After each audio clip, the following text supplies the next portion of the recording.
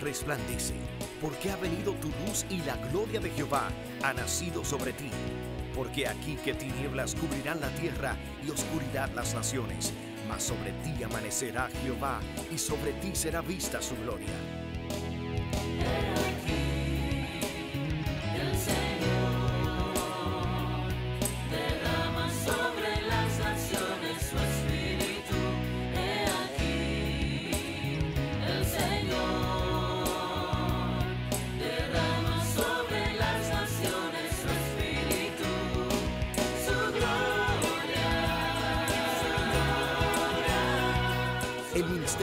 De la Esperanza presenta su programa Voz de Restauración con el pastor Juan Ramírez Fernández. Escucha atentamente la palabra que proviene del mismo corazón del Padre para consolar tu vida. A continuación, el pastor Juan Ramírez Fernández. Segunda de Samuel, capítulo 20. Comenzamos con el versículo 1. Aconteció que se hallaba allí un hombre perverso que se llamaba Seba, hijo de Bicri, hombre de Benjamín, el cual tocó la trompeta y dijo, no tenemos nosotros parte en David, ni heredad en el hijo de Isaí. Cada uno a su tienda, Israel. Así todos los hombres de Israel abandonaron a David, siguiendo a Seba, hijo de Bicri. Más los de Judá siguieron a su rey desde el Jordán hasta Jerusalén. Y luego que llegó David a su casa en Jerusalén, tomó el rey las diez mujeres concubinas que había dejado para guardar la casa y las puso en reclusión y les dio alimentos, pero nunca más se llegó a ellas, sino que quedaron encerradas hasta que murieron. En viudez perpetua. Bueno, este voy a ubicarlos un poquito en el contexto de, este pasaje. Esto, sus- a- esto aconteció cuando Absalón, el hijo de David, se rebeló contra él, se rebeló contra su padre. Días atrás, pues predicamos acerca de David, hicimos alusión a algunas cositas. Ustedes saben en qué consistió la rebelión de Absalón. Como castigo a la casa de David, Dios permitió que Absalón se rebelara contra David. Ustedes saben, ese se presentaba en la puerta de la ciudad para ganarse a todo aquel que entraba a la ciudad, especialmente aquellos que tenían algún caso pendiente de juicio y él ofrecía hacerles justicia aquellos que entraban. Y de esa manera se ganó el corazón del pueblo, llegado, y también comenzó a ganarse el corazón de muchos de los oficiales del reino de David. Cuando llegó el momento tocó la trompeta, suscitó una revuelta, una revolución, se rebeló contra su padre. David tuvo que salir de Jerusalén corriendo porque venía Absalón con un gran ejército. Eh, casi todo Israel se fue a favor de Absalón. Muy pocos permanecieron fieles a David y a su reino. Fue tiempo de, fue el Hexemaní de David. Hay una semejanza muy grande entre David y Jesús desde que le pasó eso. Muchas cosas se parecen a lo que pasó Jesús, porque eres un tipo de Jesús en algunas ocasiones. Y ustedes saben lo que pasó. David se fue, salió de la ciudad. Israel se dividió, pero la mayoría estaba con Absalón. Hubo un consejo que alguien dio. Usai, que era consejero de David, fue enviado por David como, como espía para entorpecer el consejo de Aitofel, que era el consejero de David, que casi nunca se equivocaba y que la Biblia dice que cuyo consejo era como palabra de Jehová. Y que el consejo que él dio a Absalón fue un consejo que si hubiesen seguido, hubiese destruido a David. Pero que vino a Abisai, y como dice la Biblia, que Dios neutraliza, entorpece el consejo de las naciones. Así hizo también para salvar a David y a su reino, entorpeció el consejo de Aitofel. De esta manera, eh, siguiendo el consejo de Usai, Absalón siguió a David con todo su ejército y salió él a la batalla. El consejo es sal tú con todo Israel y ve a la batalla. Y era un plan de Dios para que él muriera en la batalla. Así que salió Absalón. Y ustedes saben lo que pasó después.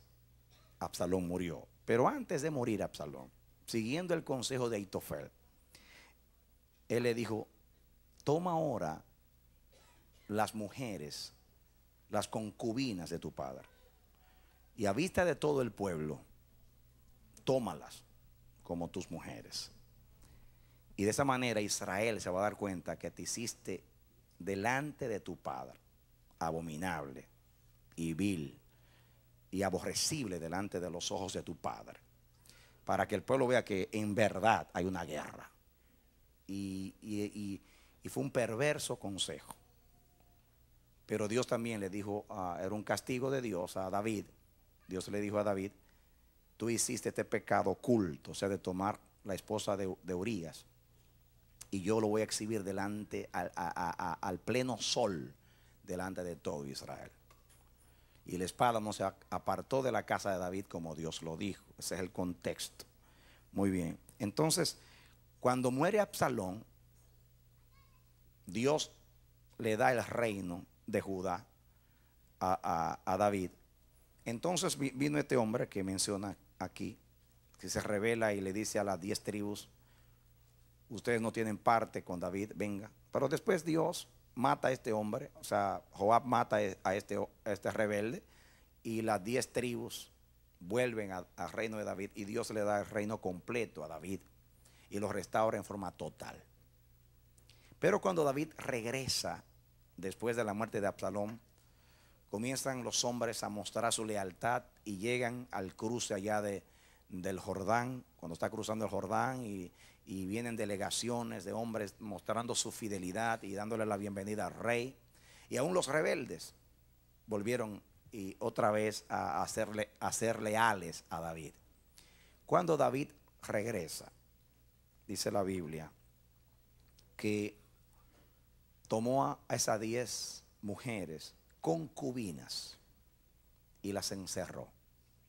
Dice ahí que las alimentó todos sus años mientras vivieron, pero nunca más, nunca más fueron sus mujeres, hasta que murieron en vejez.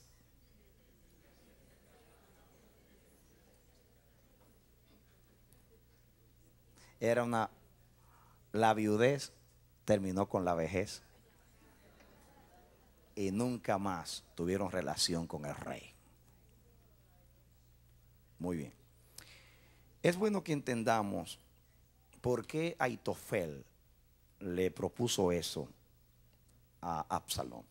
En aquellos días se interpretaba que la persona que podía apropiarse del harén de un rey estaba reclamando el trono. El harén era aquel lugar que tenían los reyes, donde tenían todas sus mujeres, sus concubinas, eran muchas. Y en aquellos tiempos se, se interpretaba que cuando una persona tomaba la esposa del rey, una concubina, estaba reclamando el trono o estaba expresando que tenía derecho al trono. Así que eso era una, eso era una costumbre en aquellos días. Y vamos a estudiar un poquito esto para que ustedes vean la enseñanza y después vamos a aplicarlo a- rema, lo que Dios tiene para nosotros. Vengan conmigo para que puedan entender. Vengan a Génesis capítulo 49. Del 1 en adelante. Aquí Jacob llama a sus hijos, ya va a morir, para bendecirlos y profetizar sobre ellos. Y dice, y llamó Jacob a sus hijos y dijo, juntaos y os declararé lo que os ha de acontecer en los días venideros. Juntaos, oíd, hijos de Jacob, y escuchad a vuestro padre Israel.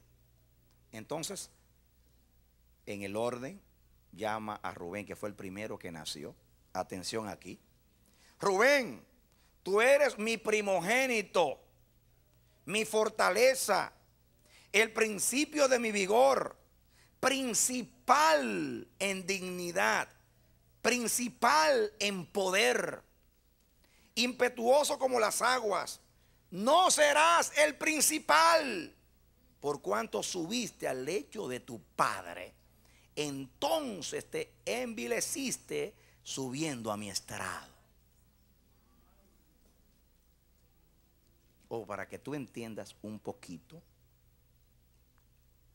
ven al capítulo 35 del, del, del, del noten ustedes que dice, tú eres el principal, tú eres el principal en dignidad porque eres el primogénito, el principal en poder porque el primogénito eres sacerdote de la familia y cuando moría el papá heredaba la mitad de los bienes, la doble porción. Tenía toda la honra el primogénito, pero dice, tú perdiste la primogenitura, ya no eres principal. Y dice, ¿por qué? Porque tú te envileciste, envileciste cuando subiste a mi estrado. Más adelante vamos a explicar. Capítulo 35 del Génesis. Versículo 22. Gracias, mi hermano. Dice, aconteció que cuando moraba Israel en aquella tierra, fue Rubén y durmió con Bila, la concubina de su padre,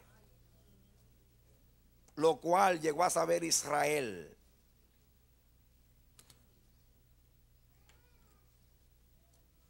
Escúchame, para no seguir leyendo, en Primera de Crónicas 5.1 dice que el primogénito era Rubén, pero el derecho de primogenitura le fue quitado y se le dio a José.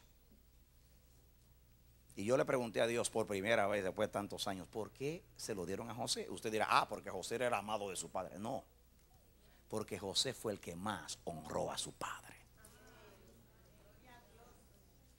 Y que aunque era el penúltimo de sus hermanos, el principal, al tomarle la mujer, la concubina, dice, tú subiste, tú subiste a mi estrado.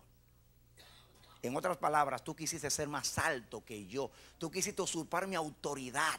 Tú quisiste ocupar mi honra y mi lugar.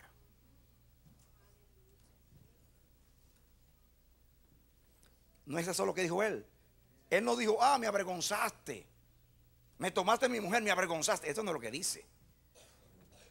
En otras palabras, tú eras el principal. Y por, por ser más principal que yo, descendiste te envileciste. Quisiste subir sobre mi estrado. Quisiste ser más que yo.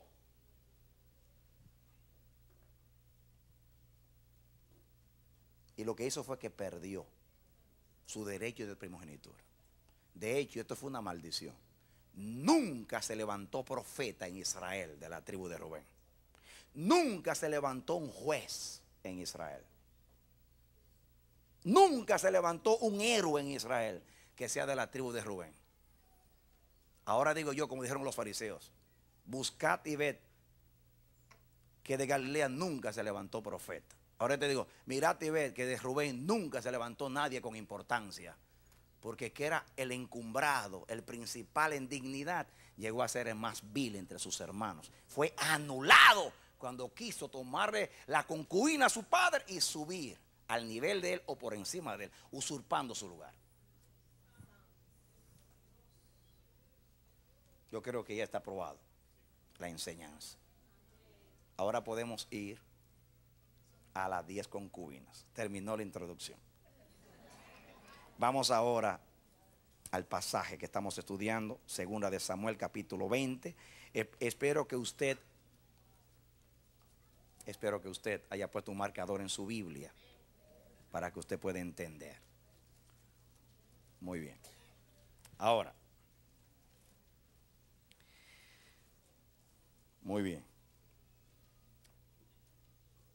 Ustedes saben que la Biblia compara en el Antiguo Testamento a Israel con una mujer y a Dios como el esposo. Ichi, ¿recuerdan ustedes? Ichi, mensaje Ichi, el esposo. Mi amado Ichi. Dios siempre se presentó a Israel. Hay todo un libro, el libro de Oseas, donde Dios se presenta como el esposo, Israel como el esposo. En el Nuevo Testamento es muy notable que la iglesia, pueblo de Dios, es, es, es comparada con una mujer, con la esposa del Cordero. Y para hacer un puente en esta enseñanza y buscar una aplicación en el Nuevo Testamento acerca de esta verdad, esto que estamos estudiando, lo vamos a ver ahora en el Nuevo Testamento enseñado. Pongan el marcador en la Biblia y miren, como hice yo porque yo pagué por él. Haga usted, usted lo mismo. Venga conmigo ahora a Juan capítulo 3. Muy bien. Comencemos para que entendamos con el versículo el 25. Entonces, hubo discusión entre los discípulos de Juan y los judíos acerca de la purificación. El 26. Vinieron a, Juan y le dijeron, rabí, mira que el que estaba contigo al otro lado del Jordán, de quien tú diste testimonio, bautiza y todos vienen a él. Todos vienen a él. Era Israel. Diga Israel. Los discípulos de Juan estaban muy preocupados porque ya nadie seguía a Juan, sino que todos iban tras Jesús. Aquel que tú dijiste que era lo que era, el Hijo de Dios, el Cordero de Dios, el que bautiza con el Espíritu Santo. Tú diste testimonio de Él. Ahora no nos siguen a nosotros. Todo Israel se va en pos de Él. Acuérdense que Israel es la esposa en esos días. Juan, tomando esa figura del lenguaje bíblico, del lenguaje alegórico de la Biblia. Dice en el versículo 27, respondió Juan y dijo, no puede el hombre recibir nada si no le fuere dado del cielo. Vosotros mismos me sois testigos de qué? De que dije, yo no soy el Cristo, sino que soy enviado delante de él. Escuchen ahora, el que tiene la esposa es el esposo.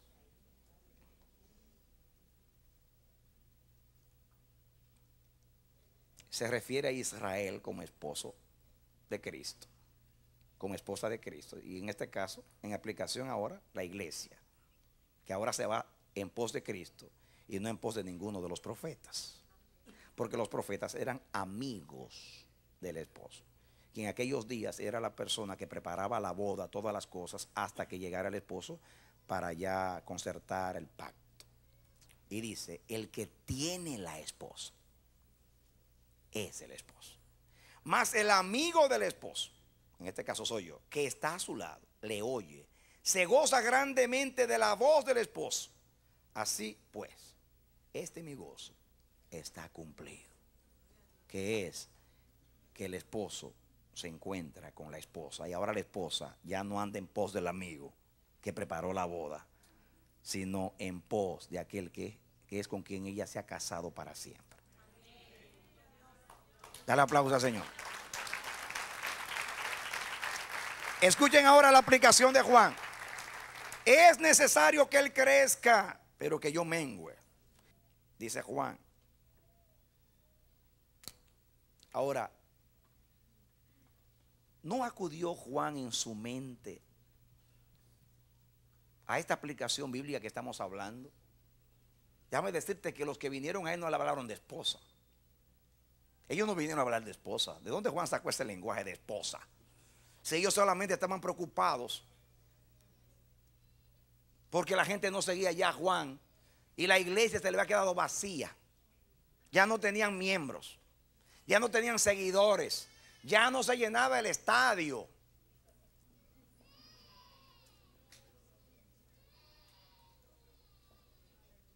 Se vaciaron las células en los hogares. El estadio ya se fue, no hay nadie que venga al estadio. El lugar de adoración está vacío. Nadie nos sigue a nosotros. Todos se van en pos de Él. Amén.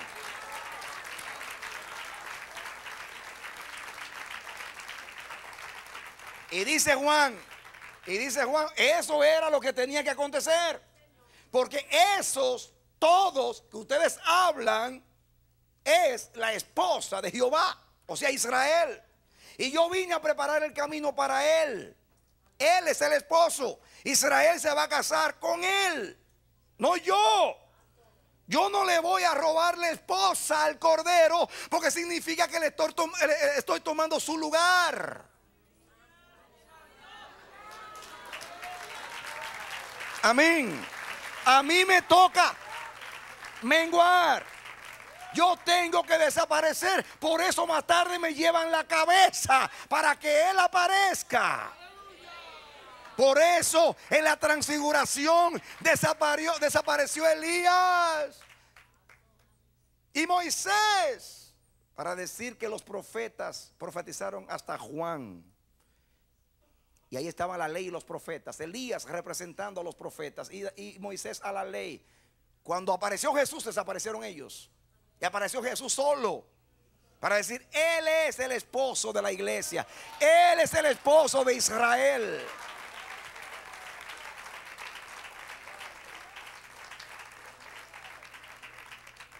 Te lo voy a poner en un lenguaje que tú lo puedas entender. Juan vio esta figura.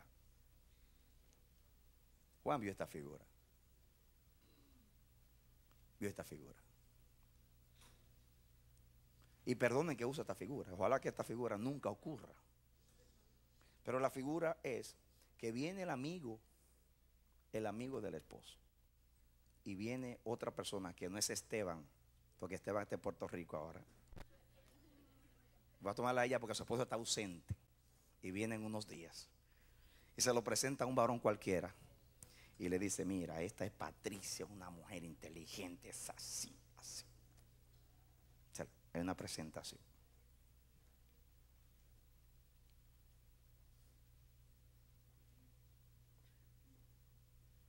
Ahí están. Se están presentando.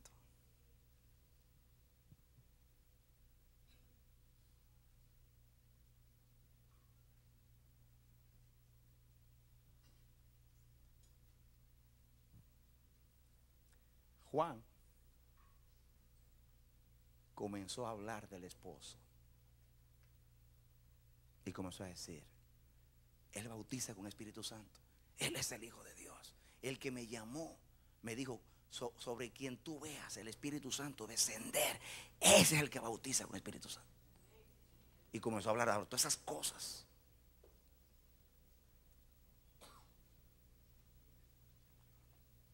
Como que yo venga a Patricia, le dije, mira, este hombre, tremendo, es así, así, así, así.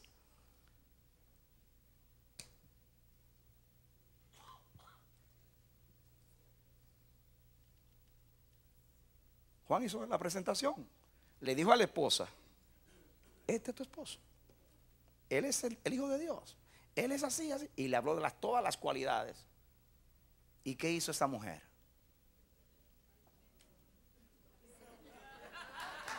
Este es. Este es.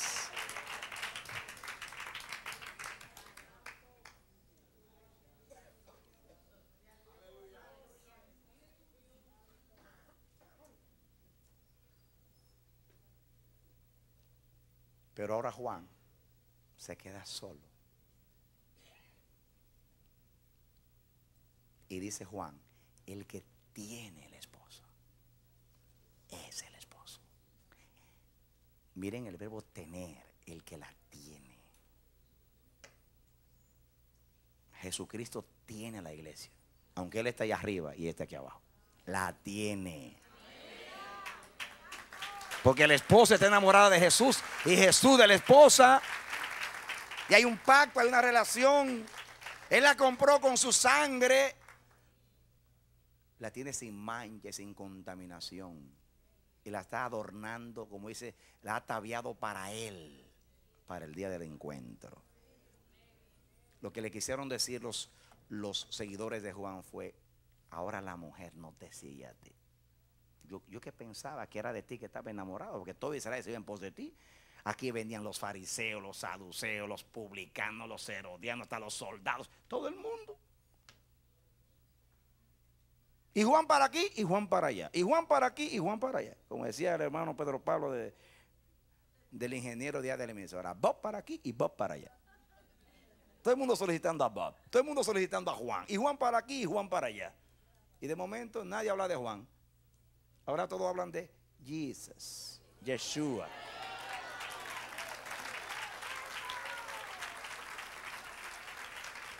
Y dice Juan, yo no soy el esposo. Yo no vine a usurparle el lugar a él. No vine a quitarle a su mujer. Soy el amigo el que prepara la boda, el que prepara un pueblo bien dispuesto para que se encuentren la esposa bien ataviada con el marido que viene por ella. Como era la costumbre de aquellos días. Juan acude a la costumbre de aquellos días. Pero yo no voy a llevarla al hotel, no es mía. No me puedo adueñar de ella y administrarla como si fuera mía, como hizo el faraón con Israel, que se apropió de Israel. Y Dios le dijo, deja ir a Israel para que me sirva. Israel no fue creado para hacer pirámides, ni para hacer instituciones ni organizaciones, ni para engrandecer ningún reino humano. Es para que me adore y me sirva. Amén. La iglesia no debe servirle a ningún interés de organización eclesiástica ni a nadie. Todo aquel que encierre a la iglesia para enriquecerse con ella o hacerse famosa o tener un ejército que pelee para sus intereses, le, le pasará como al faraón. Será avergonzado y su descendencia será cortada cuando muera su primogénito y Jehová le va a impedir reinar con él. Porque la iglesia es solo para que le sirva y le adore y entre en amores con el esposo Jesucristo. Amén. Oh, y el Señor da la voz de alarma y dice a los amigos, ministros, amigos del esposo, cuidado, ¿de qué manera se relacionan con la esposa? ¿Qué derecho tienen sobre ella? ¿Cómo se enseñorean y le dictan y juegan con su conciencia y la usan para sus estadísticas y sus logros humanos para hacer un gran nombre, un gran ministerio? La iglesia solo es para adorarle y servirle a él, al esposo. Amén. Cuando se hace el pacto matrimonial, hay un pacto de fidelidad entre el uno y el otro. Y la iglesia tiene un pacto de lealtad y fidelidad con Jesús. Amén. Ahora podemos entender. Vamos ahora a las diez concubinas. Para que miremos ahora algo muy triste. ¿Ya lo tienen? Segunda de Samuel, capítulo 20, versículo 3. Y luego que llegó David a su casa en Jerusalén, tomó el rey las diez mujeres concubinas que había dejado para guardar la casa. Y las puso en reclusión, o sea, la metió en una cárcel. No tiene que ser barrotes, la puso en reclusión, la, la puso aparte y les dio alimentos, pero nunca más se llegó a ellas, sino que quedaron encerradas hasta que murieron en viudez perpetua. Dios me dijo que aquí- así hay muchas iglesias hoy en el cristianismo. Déjame por un momento ponernos en el lugar de esas diez mujeres. Primeramente, ellas no participaron de ese pecado. Ellas fueron violadas. Porque en aquellos días ninguna mujer se le negaba a un rey. ¿Por qué Dios no, no castigó a- Bexabé, sino a David? Porque David la vio, preguntó por ella, la mandó a buscar y le dijo, tú vas a ser mi mujer. ¿Y qué mujer en aquellos días le decía rey no? Cuando su au- autoridad, autoridad era absoluta. Así que cuando vino Absalón ya proclamado rey y le dice, son mías. Yo estoy seguro, seguro que esas 10 mujeres amaban a David con todo su corazón. Eran sus mujeres. Déjame decirte que concubinas no eran prostitutas, para que te quite de la cabeza. En la Biblia habla de rameras, pero concubinas no eran prostitutas. Eran mujeres que no era la principal. Era la reina, era la principal. Concubinas eran mujeres, porque aquellos días era costumbre que un rey tuviera muchas mujeres, pero eran, esposas. No eran, no eran la principal, pero eran esposas. No eran, no eran prostitutas, no eran rameras. Y, y ellas, estoy seguro que las 10 amaban a David. Porque David era chévere, ustedes saben. Cuando un hombre, oigan bien, ¿por qué lo estoy diciendo? Cuando un hombre sabe enamorar a Dios, sabe enamorar a su mujer.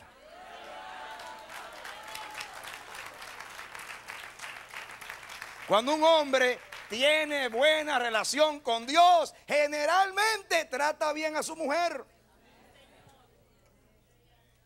Y cuando la trata mal, reconoce, se arrepiente y le duele en su corazón. Como David cada vez, que fallaba, se arrepentía. Pues yo sé que así trataba a sus mujeres, con delicadeza, con justicia. Así que era, era un, un esposo bueno. Así que estas mujeres fueron víctimas, di conmigo, víctimas de una rebelión.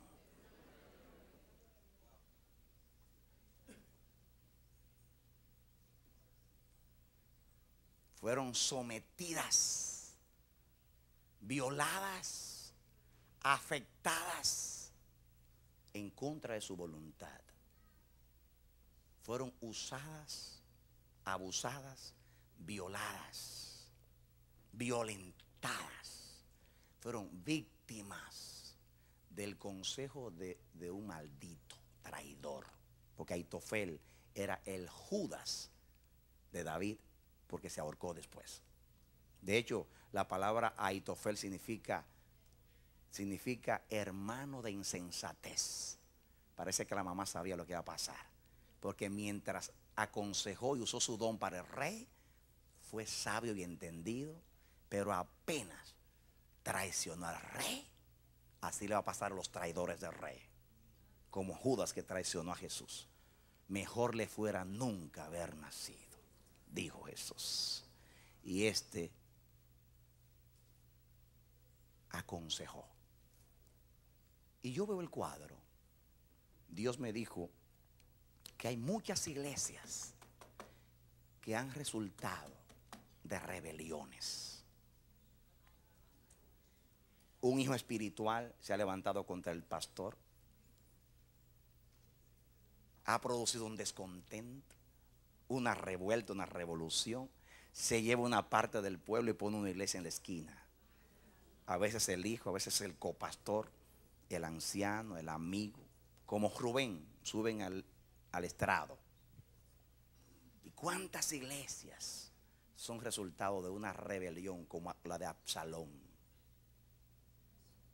Y esas pobres iglesias son violadas por ese espíritu, ese espíritu de Absalón, espíritu de rebelión, ese espíritu usurpador que, que usurpa au- autoridad, que se sube. Y esas iglesias han surgido de esa manera. Para poner un ejemplo, puede ser que haya otra manera que se produzca eso en la iglesia, pero yo sé que eso abunda mucho. Por algo Dios lo está predicando para corregirlo. Para que podamos entender el trauma que tienen muchas mujeres, muchas iglesias de Jesucristo.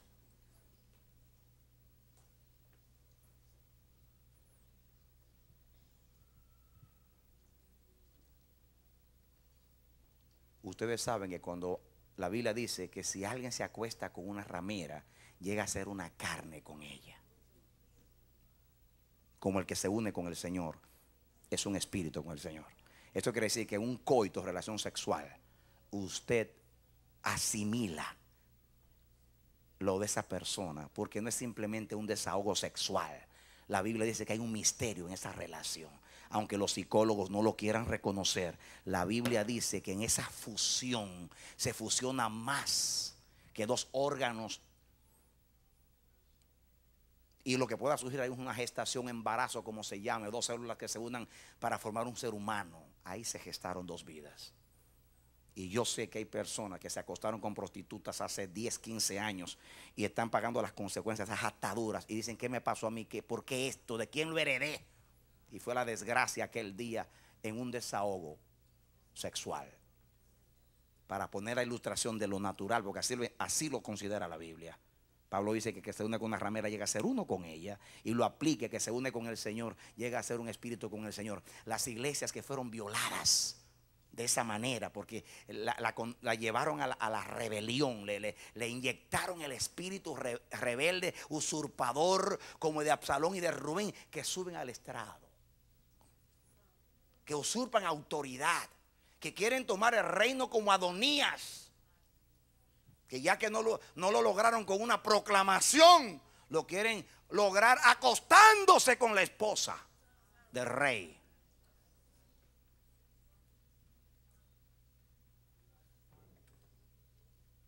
Una manera de avergonzar al rey. Una manera de querer usurpar lo más hermoso que tiene el rey, que es la reina, que es su esposa. Imagínense la desgracia de, esa- de esas diez concubinas. ¿Qué culpa tengo yo de que alguien use su autoridad para venir y usar mi cuerpo cuando yo no se lo quiero dar? Soy una fueron diez víctimas. Fueron sometidas a esa situación. Fueron afectadas, traumadas o trauma- traumatizadas, como dicen en otros países. Así hay muchas iglesias dañadas, afectadas, dolidas. Le han hecho tanto daño porque Absalón ha dormido con ellas. El espíritu de Absalón ha penetrado en esas iglesias.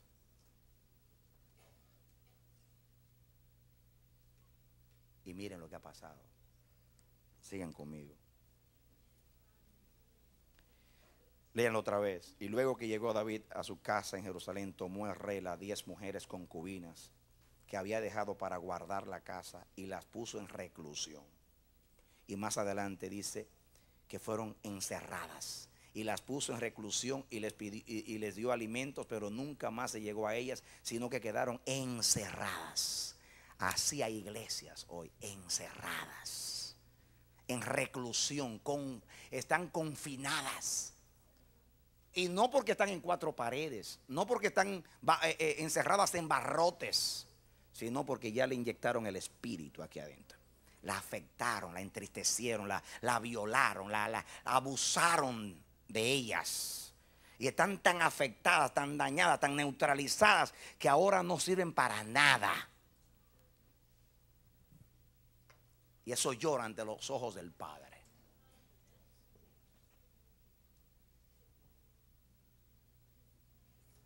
Están encarceladas, encerradas, en reclusión. Aquí dice que el rey les dio alimento. Se sientan todos los días en cada culto de la iglesia. Reciben alimento. Están en la casa del rey. Están dentro del palacio. Pero presas.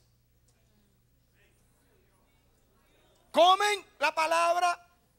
Cantan. Participan de la fiesta. Participan de todo lo que hay en el palacio del rey pero no tienen relación con el rey.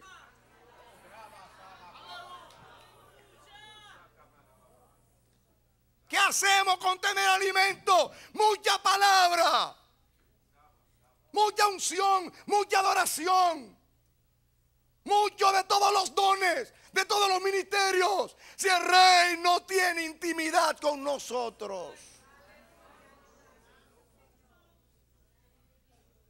¿Para qué sirve?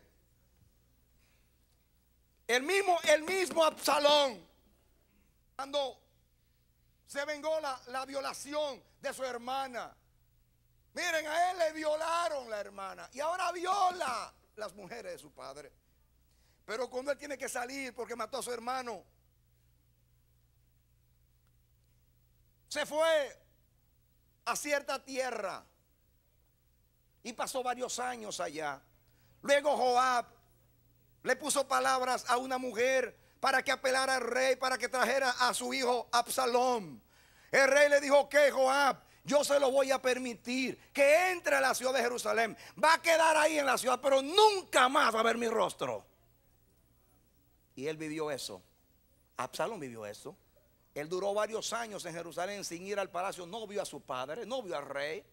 Hasta que un día le quemó, le quemó el sembrado a Jehová para llamarle la atención. Y le dijo, no me hiciste tú traer de lejos para venir yo aquí. Ahora ve donde mi papá. Porque yo prefiero morirme si es necesario. Que me maten si he pecado contra el rey. Pero por favor que me dejen ver su rostro. En otras palabras, yo no quiero estar eh, cerca del rey, sin el rey. Bajo el techo del rey, sin el rey. Porque la vida del reino es tener relación con el rey, ver al rey en su hermosura, tener intimidad con él.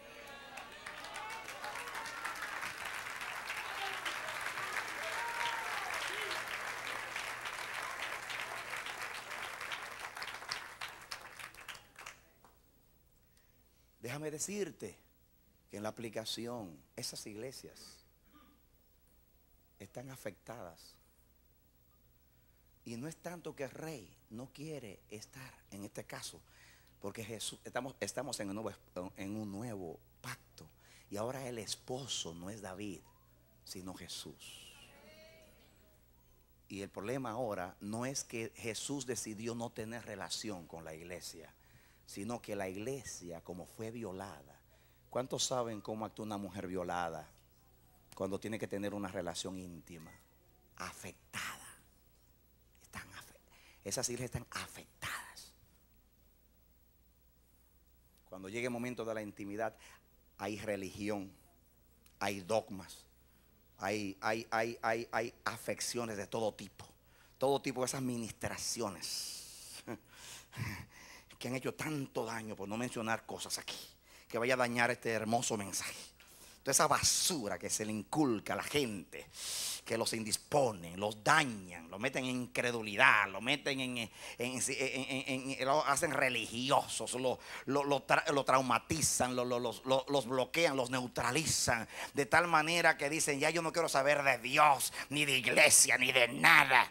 Y le piden el sabor a la vida y todo, y se vuelve todo insípido han sido dañados, porque han sido violados. Se abusó de ellos, se abusó de su confianza, se les maltrató, se les condenó, se les hizo rebelar, se les hizo dudar contra la autoridad, se les hizo, se hizo dudar contra el gobierno de Dios. Y están, están dañados.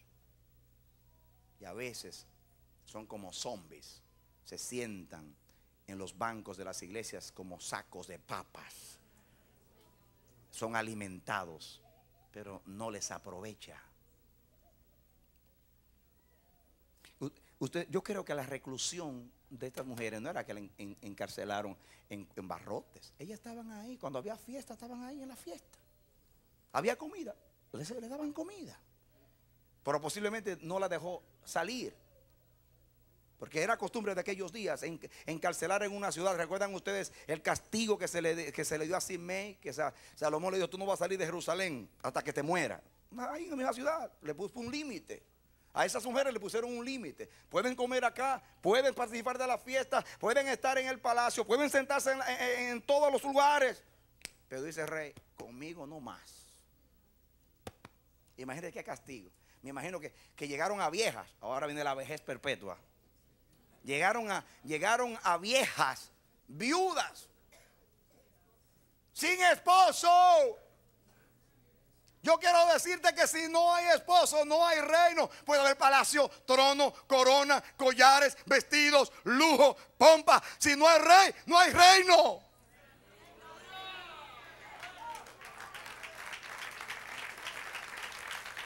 Amén. Yo quiero decirte que cuando David fue ungido, ya el reino era de él. Y aun cuando andaba por ahí por las cuevas corriendo a la Saúl, delante de Dios eras ungido, aunque no tenía el trono.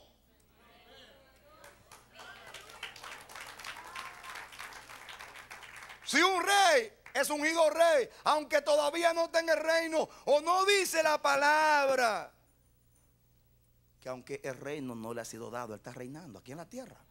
Todavía no ha venido a poseer todo, ya lo tiene. Y el Padre lo declaró Señor, ya lo tiene.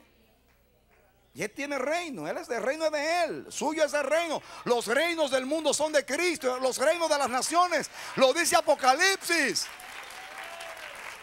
Ese es el mensaje de la, septa- de la séptima trompeta. Los reinos del mundo han pasado a ser los reinos de Dios y de su ungido, de su Cristo. Y reinará por los siglos de los siglos. Embargo, no, las naciones están sirviéndole al diablo y a ellos mismos, la política. Pero ahí ya, el que llama a las cosas que no son como si fuesen ya. Ya el rey está reinando. Él tiene un pueblo entre los pueblos que se llama la iglesia que se somete a él. Luego re- regirá con barra de hierro las naciones y con justicia los confines de la tierra. Así está escrito.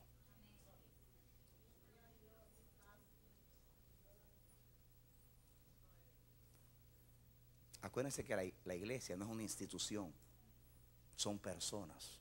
Yo estoy hablando aquí de personas dañadas, que han sido dañadas por la conducta de personas que no han sabido someterse a una autoridad y que se han rebelado contra la autoridad y que han querido usurpar a la iglesia y decir es mía y defenderla como si fuera de ellos.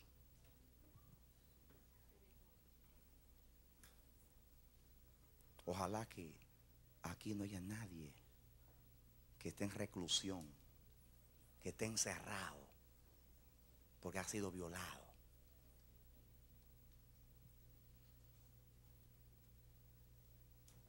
Yo quiero decirte que espiritualmente no es acostarse en una cama como hizo Saúl, eh, Absalón con las concubinas.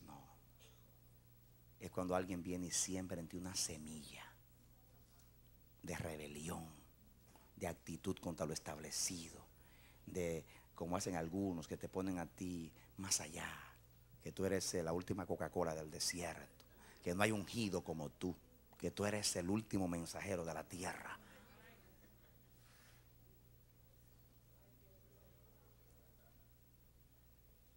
Y, y- y- y lo peor que tú lo crees. Nadie piense decir más de lo que debe pensar. Cada uno hágalo con cordura, como dice la palabra. Ha habido profetas en, estos, en este tiempo que han tenido mensaje de Dios, comida de Dios, y se han desviado porque se han creído algo. Inclusive han llevado al pueblo a envenenarlo, como sucedió en Guyana, ¿eh? con Jones y con otros. No quiero mencionar nombres porque, porque no es bueno. Pero conozco en este, en este tiempo profetas con un mensaje poderoso del reino. Hay un hombre que alguien me dio un libro de él y, yo, y yo me puse a leerlo y me quedé maravillado porque los principios del reino que predicamos, iguales, increíble. Y comencé a averiguar acerca de él. Y me dijeron que fue un hombre que Dios usó mucho en Estados Unidos. Pero cuando yo comencé a, leer, eh, eh, a interpretar el comentario de Apocalipsis que él escribió, él habla que hubo siete tiempos, las siete iglesias, y, que Dios tuvo un mensajero en cada tiempo.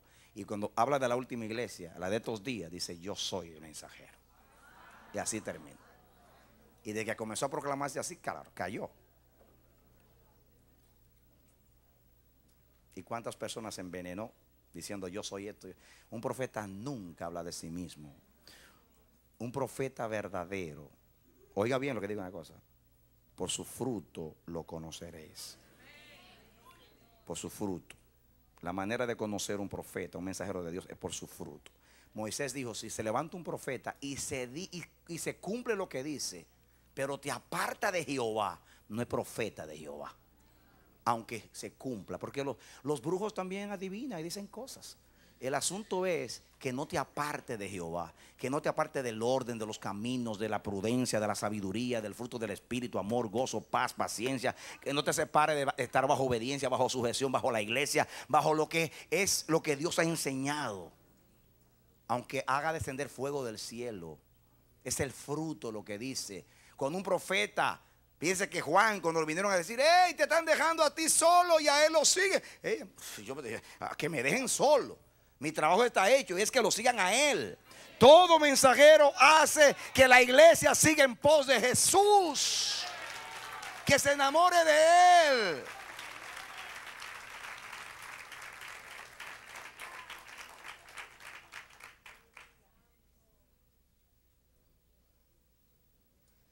Así que si tú estás en una reclusión mental, está encerrado por algún tipo de afección y no puedes tener relación con, con el esposo. Vas a leer la Biblia y no puedes leerla. No, no puedo, no, no, no, no, sé, no sé qué pasa. La leo, la leo y no me entra nada. Voy al culto, no recibo nada. Oigo canciones, no, no. no. He perdido la comunión. Posiblemente te han violado. Hay una violación, te han violado. Te han violentado. Te han inyectado un pensamiento o te han obligado a una conducta de que, que no estaba en el plan de Dios o te afectó de alguna manera. Te violaron y, perdiste la comunión con el rey. Estás en el palacio, estás comiendo, estás bebiendo, participas de las fiestas, pero sin el rey. Reino sin rey no sabe reino. El reino sabe reino cuando tiene el sabor de rey. La intimidad de rey. Hay delicia en tu diestra para siempre.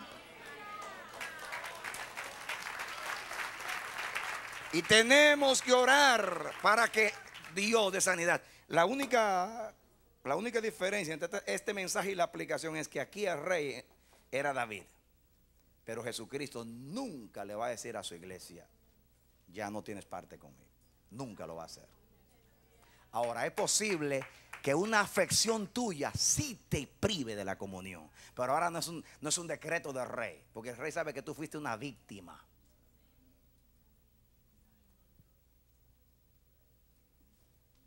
El rey te dice, antes de ser tu esposo, quiero ser tu médico para curarte, para que luego, cuando te entregues a mí en la intimidad, lo hagas bien. No quiero una relación con personas afectadas. Quiero sanarte primero. Voy a ser, voy a ser médico y te voy a dar mi bálsamo antes de entrar a la recámara conmigo.